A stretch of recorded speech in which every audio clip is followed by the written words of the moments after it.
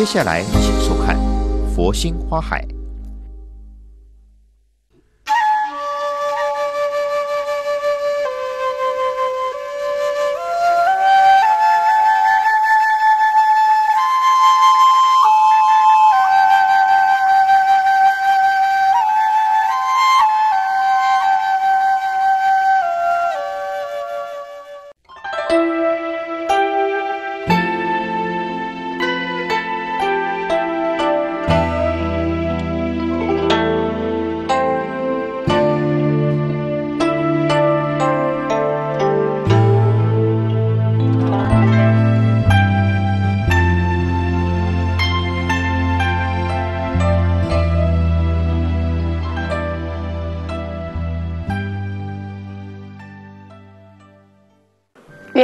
不是想法，而是尽力之后的一个成就。各位大德，各位爱花的菩萨们，大家好，阿弥陀佛。今天呢，我们将用一个呃中华花艺非常呃优雅的一个花器啊来做今天的花艺啊。那首先呢，我们先来欣赏一下这个花器啊。那各位爱花菩萨可以看到呢，啊，今天我们要插中华花艺啊。六大器型中间的一个花器，我们称为筒花，啊筒。那呃所谓的筒就是竹筒啊，就是各位可以看到呢，啊一支这样的非常苍劲古老的一个竹啊，然后呢，呃经过这个呃竹雕家的一个用心啊，那我们就把它开光啊。那所谓的开光的意思就是利用了竹节跟竹节之中开一个洞啊，然后用这个呃开光的地方用来插花。啊，那这个桶呢？啊，各位爱花菩萨可以看到呢，这只桶它很特别，就是，呃，它这个竹雕家呢，它在后段的部分留下了一片的竹，然后雕了一个荷叶跟一个荷花，啊，这个莲叶跟一个莲花啊。那我们知道，其实莲呢，莲花莲叶有一种年年平安的感觉啊，因为竹报平安嘛，然后再加上莲花哈，所以用竹跟莲合起来，又非常具有一种文人的意象的感觉。啊，那我们一边插花，那一边来聊这个筒花哈。那首先呢，呃，各位爱花菩萨可以看到呢，我在这个我们呃这个一个这样的一个呃竹筒呢，我们上段的部分我们称为上格，那下段的部分我们称为下格。啊，那这样两格有可以用来插花的呢，我们称为双格筒花啊，双格筒花哈。那我们今天要做上格跟下格两层的一种插花的应用，啊，那筒花呢，我们要在里面做一个煞啊煞。那各位阿弥菩萨可以看到，我现在把这个煞拿下来哈。那中国自古以来就是一个非常环保的一个民族啊，比如说我们用那个植物中的这个这个自然的一个阿字啊，然后用它来插花啊，然后把所有的花都。啊，插在这个里面啊，那形成的这个空间美学非常的优美，而且呢，它可以训练一个人的耐性啊，然后用心啊，所以我们说呢，啊，孔子在《述而篇》里面，《论语》的《述而篇》里面讲说，自于道，据于德，依于人，有于义啊。那其实，在有于义中间呢，不只是一个精神的一个舒缓跟长养自己的精神啊，其实也是一个非常好的一个训练自己的呃。内涵的一个过程哈，那各位阿菩萨可以看到呢，我把这个这个那个呃，我们称为煞啊，把它放在这个竹子里面啊。其实，在卡这个煞的时候，它并不是太容易呢，因为呢，我们知道呢，因为啊，这个竹子本身呢，它因为它的那个呃。整个竹子的大小不一样哈，所以它每个角度只要稍微角度一换呢，这个煞可能就没有办法很顺利的把它卡上了啊。那各位阿花菩萨可以看到，我现在在里面把这一个煞给卡上了啊。那这个煞呢，一般来讲，我们最好坐在这一个呃我们要插花的这个地方的呃八分高到九分高的这个地方哈，因为我们称这种煞为阿字煞。啊，因为刚刚各位阿菩萨可以看到，它是一个阿字形的哈。好，那我现在呢，啊，就来插做这一个筒花哈。好，那我今天要用的这个花材呢，啊，我用了一呃，我选用的是松啊，因为呢，啊，我们这个竹，然后本身具有非常文人的意象哈，所以我就选用松跟竹啊这样两样的花材哈。好，那各位阿菩萨可以看到，我昨天到了花市啊，那虽然是炎炎的夏天呢，可是在这个时候呢。花市有好多好美丽的松哈，而且都非常的苍翠啊，所以我们说，呃，松呃松柏不凋于岁寒哈，它不只是不凋于岁寒，其实在炎热的夏天呢，啊，它都是特别的苍翠的啊。那呃，首先呢，我把买回来的松针呢，它会非常的散乱，非常的没有精神哈。所以当我们把这个松呃买回来之后呢，我们就可以稍微把它做一个整理啊，可以让这个松针呢啊感觉上比较不是那么的那么的乱啊。然后呢，那个呃，接下来呢，各位阿菩萨可以看到呢，我在这个松的上面呢，我加了铁丝啊。比如说，各位阿菩萨可以看到呢，我在这上面呢，我我用了这个，呃，这个十八号的铁丝啊，然后上了啊，把它先啊，比如说我大概知道，因为它本来是一支很直的枝啊，那我把它先上了一下铁丝哈，因为我等一下把它弯起来，而且我要。我要让它呢是这样子，能够离开这个呃这个筒壁啊，然后能够这样子插立起来，所以我必须要稍微折枝一下下哈。那呃我们可以看到呢，我在这边已经稍微已经上了一下铁丝了哈。那我用的最最初的铁丝，因为这个松针本身啊非常的脆，而且它呢是一个呃很重的一个呃花材，因为它上段的这个松针很多，所以我需要加。比较多的铁丝哈，那我在加完铁丝之后呢，啊，我上一下这个呃 tape 哈，因为这个 tape 上上去之后，它会有一个韧度啊，就会帮我把这个呃我要折下去的这个力道呢，可以和缓一下下啊，那这样子我们在折枝的时候就比较不容易断哈。好，那我把它加一下这样的一个呃这个呃咖啡色的 tape。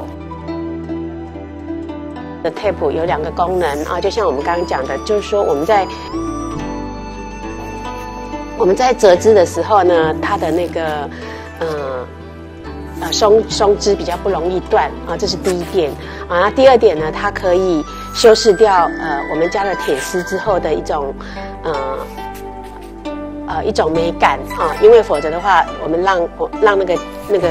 呃，枝呢，就是我们说那个针呢露出来呢，那感觉上比较不好啊，所以各位阿菩萨现在可以看到我这样子加上 tape 之后啊，那我就可以用它来折出我要的这个角度哈。好，那我把它稍微的、稍微的把它啊，稍微的把它固定一下下哈，让它是可以这样子立起来的啊。那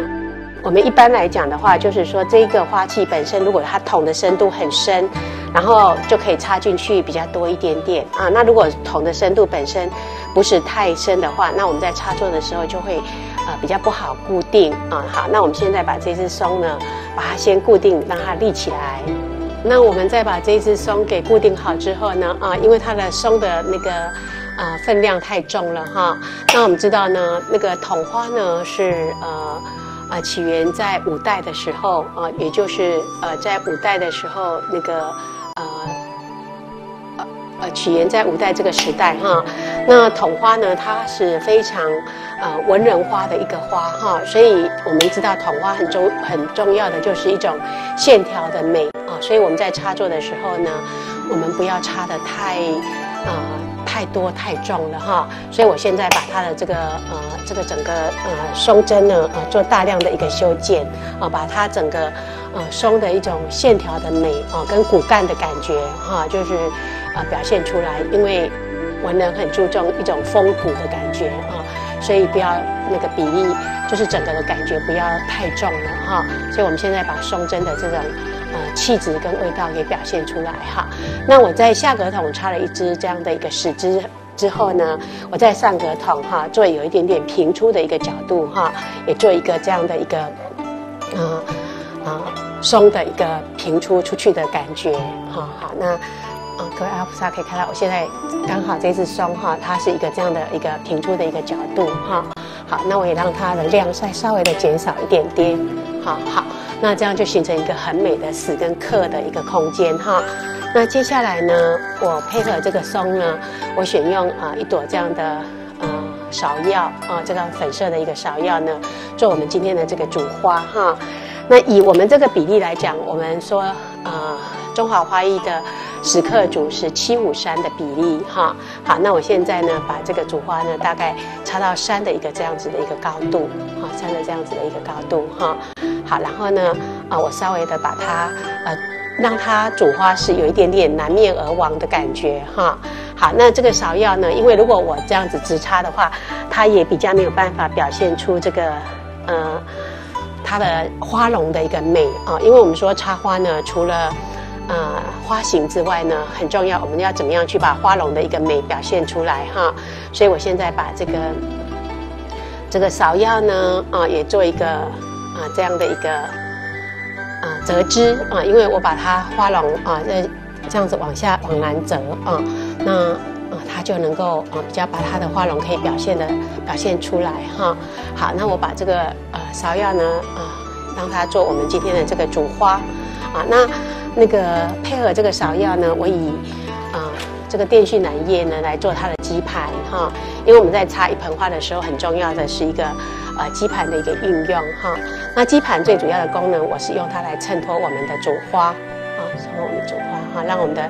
主花呢有一个依靠的一个感觉啊，那我在这个呃这个上格筒的后段呢啊，我来加一个深度的感觉啊，让它有一个后段的松哈。那我把刚刚剪下来这个松呢啊，让它拉一点点后段啊，这是我们非常标准的一个呃筒花的一个形式哈。好，我让它一点点后段啊，才不会觉得只有一只一只那个。啊，一只这个死枝而已哈，好，然后我做一下下它的另外一片叶子，做一下它的，也做一下它的后段啊，让它有啊深度的一个感觉哈。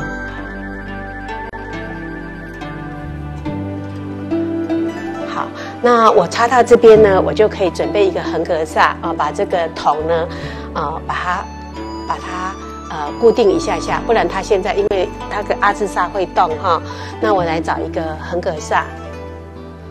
啊，那我接下来就找一个花材呢啊来做它的横格萨哈。那其实我们常常讲说所谓的横格萨呢，各位可以看一下，就是呃枝材呢哈，那做它的这个地方哈，把它从这边把它扣起来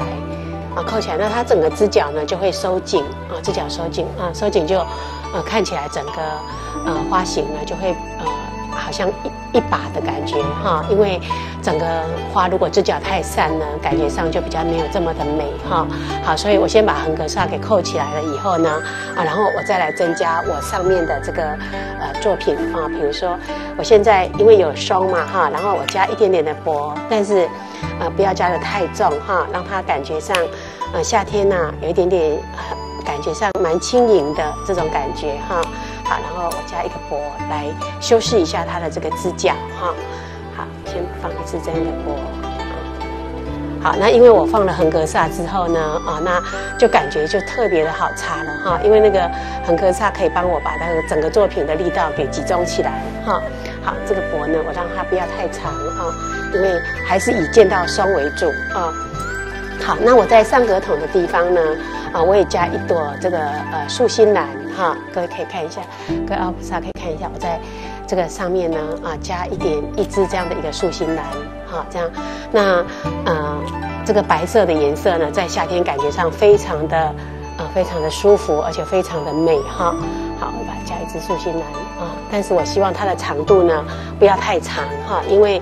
不要高过我们的主花，就是我们的芍药哈。好，那我啊，因为这个素心兰每一支，呃，如果是我们台湾 local 的这个呃兰花素心兰呢，它就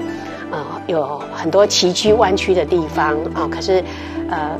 现在到了夏天呢，台湾的素心兰大概是在每年的这个春天的时候哈才会有。那夏天的这个季节的时候呢，啊。我们就是一些进口的这个素心兰哈，好，那我现在把这个素心兰呢啊做我的呃副花啊，就是辅助这个呃辅助这个呃上格筒的呃分量的这个花啊，好辅辅助它的一个副花啊，好啊，稍微再调整一下姿态啊，让它美一点好，然后我们在后段加了一片这个呃叶子啊，大片的叶子，最主要就是。有一个重要的功能，就是它可以平衡作品啊，因为我们的主花它啊四十五度往前倾啊，所以呢，我们的这个副花呢啊就让它啊呃守住后段的这种感觉哈。好，那各位阿菩萨现在可以欣赏一下下啊。啊这样的一个芍药为上格筒的这个主花哈。好，那我在下格筒的这个部分呢，因为啊如果我先插了下格筒之后呢，我的上格筒会感觉比较不是那么的好插哈。那我现在把这个呃上格筒大概插了呃完成的一个部分之后，我开始在插我的下格筒哈。我们知道我们在插花的时候，我们最好能够有上段、上段、中段跟下段啊。那这一支花材本身它就有上段跟中段的，所以我在下段的这个地方呢啊，再选啊一个下段的一个花材啊。好，那我啊我就选用这一支的这一支的松哈，因为这支松挺美的，而且它也有也有松果哈。好，那我在这里再示范一下这个松啊的一个应用，比如说。刚刚我折了那只大只的那个松，呃，我没有做一个详细的示范啊。那现在各位阿花菩萨可以看一下，我现在要折这只小只的松哈，我就是把它用我的二十二号的铁丝哈，好这样子，啊，然后，呃，我刚刚剪了一个我大概要折出去的地方哈，然后我把这个铁丝放在上面啊，放在这个要往下折的这个上面哈，然后我再用一个二十四号的铁丝啊，把它绕一下下。啊，这样把它绕一下，啊，然后把它绑起来，啊，绑起来。好，然后呢，啊，我做三段的一个一个捆绑啊，所以呢，呃，在这个插花的这个过程中呢，啊，在捆绑中呢，也是学习，也是这个很好的一个学习哈。好，我把它上下做了一个三段的。一个捆绑啊，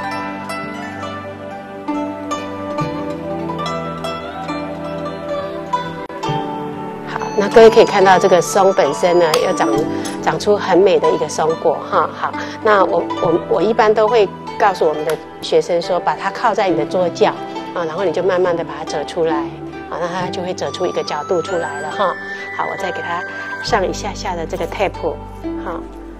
让它可以看起来。啊，比较比较优雅一点，比较美一点哈，不会看到很多的这个铁丝的感觉。啊，所以我们这一次的这个节目中呢，啊，我们分享了比较多的这个呃插花的一些技巧啊，因为。啊，有很多的爱花菩萨，他们也很很希望能够多学一点点这个插花的这个技巧。嗯，好，那我们现在就可以看到，我们就把它做一个很美的一个修饰哈。好，那我把这一支拿来做我松的。我这个花材的这个下段的这个地方的一个运用哈，那在这个同时呢，各位阿拉菩萨可以看到，我现在也找一个花材哈，稍微把它做一个横格煞，把它卡过来啊。那我把它卡过来之后呢，我的下格筒的这个松呢啊就可以稳定住了。那我把这个横格上呢给固定呃下来了哈。那各位爱花菩萨就可以看到这个筒花呢啊它。呃，就蛮有特色的。虽然还没有插完，但是我在这边先，呃，做一个简单的一个介绍，就是它有所谓的上上中下。这样三段哈，哦，我们插花的时候常常说呢，我们要插出三段三景的一个效果啊。那这个松针呢，刚好可以做出一个很美的上中下三段的一个效果哈。好，那因为整个是比较属于翠绿色的，所以我在这个作品里面呢，我加一支这样的一个这个呃，这个叫做小灵头哈。因为小灵头这个花材呢，啊啊，把它插进去之后，让各位阿菩萨可以也可以欣赏一下哈，就是。它这个花材本身虽然是一个叶子类的东西啊，但是它很有效果的，因为它呢，呃，插出来之后呢，就会好像嗯很自然的这种散开哈，而且它的颜色很美啊，而且有一很有动感的感觉啊。那我们今天一直在提到呃，就是刚柔并济、综合之美，松的这个。呃，插座的过程中，我们要加一点点柔枝啊，就像这个小林头一样，它柔柔的、细的这个飘动的感觉啊，那可以带动呃整个作品的更好的一个意境哈。好，那我在下个筒的地方呢，啊，我用了一个这个这个呃迷你的向向日葵哈，菊科类的植物哈，所以我用了这个呃迷你向日葵呢来做这个呃下段的这个主花的一个运用哈。好，那我们试一下吧，呃，试试看，用个两三朵的这个迷你向日葵哈。好，我先放一朵的向日葵。啊，那因为我们芍药呢，它是属于比较淡色的哈，所以我在下格的地方呢，加一点点比较亮度比较高的附主花哈。好，那我们再加一支，再加两支的这个向日葵哈。我再放进一一支这样的一个向日葵。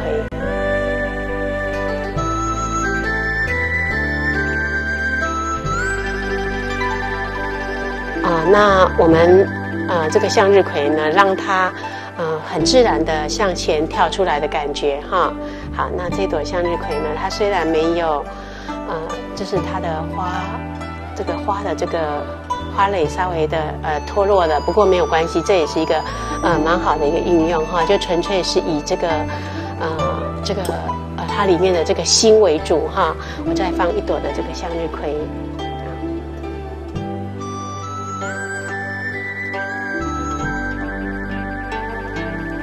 因为我们刚刚把那个横格栅做上去之后呢，那整个桶的这个空间就越来越小了哈，所以就呃就会要慢慢的去插座它。好，那我在呃下格桶的地方呢，也加一点点的薄啊，来做收它的这个呃基盘的这个地方哈，加一点点，像这样的一个薄啊，因为支脚现在看起来稍微有一点点的乱哈，所以我把它。用薄呢，把它收一下下啊，那它就有很好的啊一个作用。就呃，其实这个基盘的地方是很重要的，因为基盘如果你插的很好的话呢，啊，它就会变成一个嗯，整个作品看起来就会非常有力的一个感觉哈。好，那我们把啊这一件那个呃桐花给插好了啊。那我们简单的介绍一下这个桐花啊，就是我们说呢。啊，筒重婉约，兰桂端庄哈。那筒花讲究的是一种线条的一个优美啊。那我们今天就有这样很啊很古雅的一个筒啊，那插作一个比较正式的一个花艺的作品。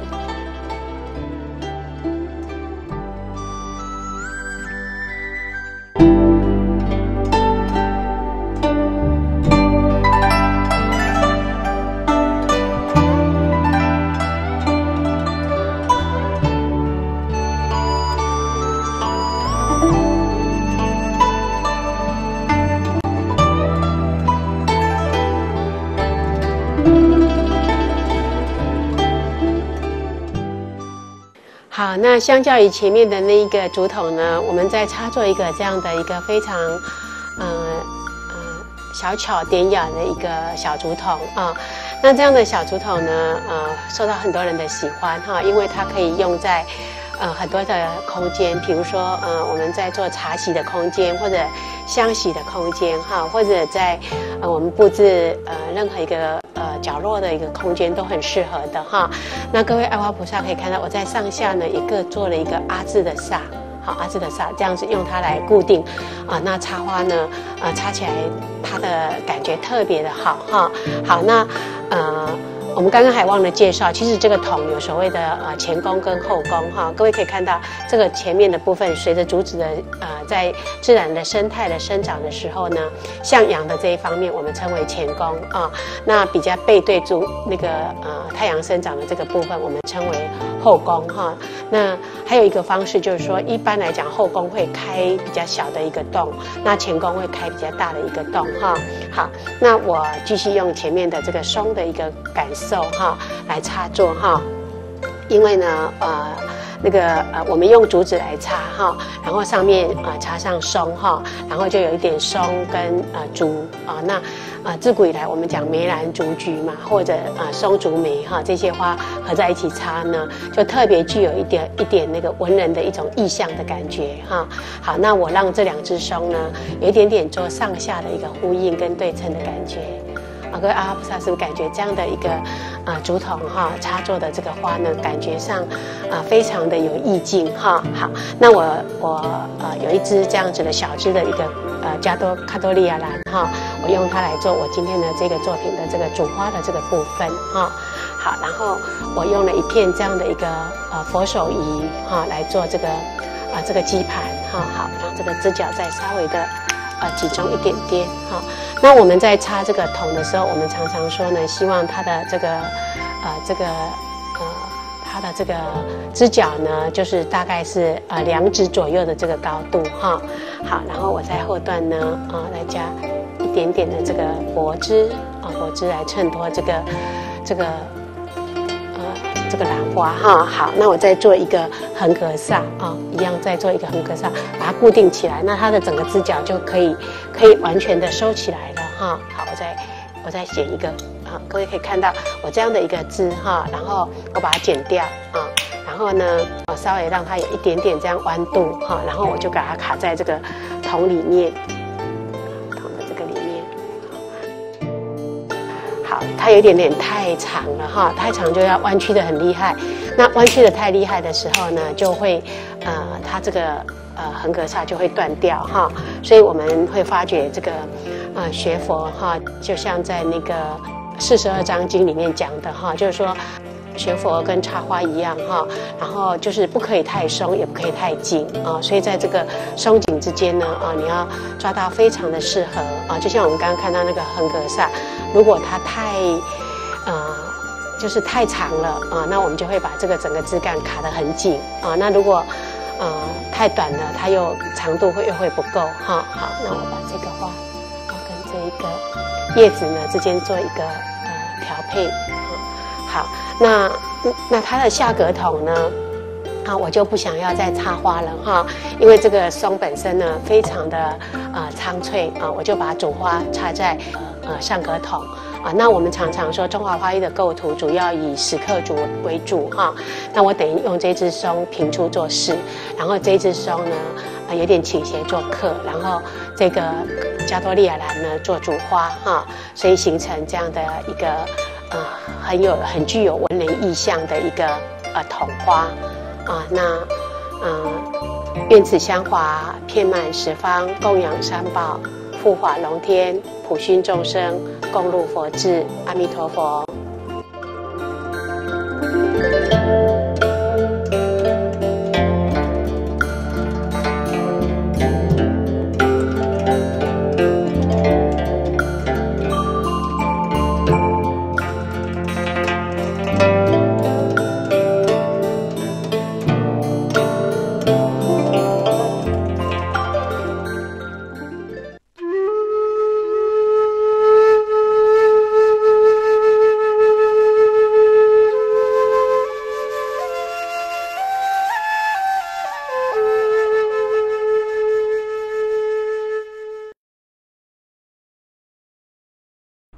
护持中华护生协会，邮政划拨，户名中华护生协会，划拨账号四二一三八四八三四二一三八四八三，银行账号银行代号土地银行零零五，账号零一二零零一一九五六七九零一二零零一一九五六七九，护持护生放生超度阴生未生胎儿。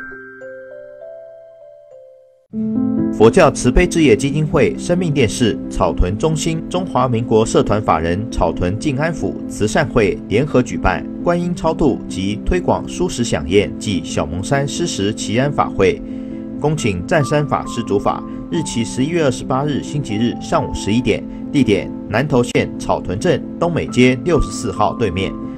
洽询电话零四九二三一五九九九零四九二三一五九九九。敬邀菩萨参与熏习，同斋法益，共沐佛恩。配合防疫措施参加，敬请佩戴口罩。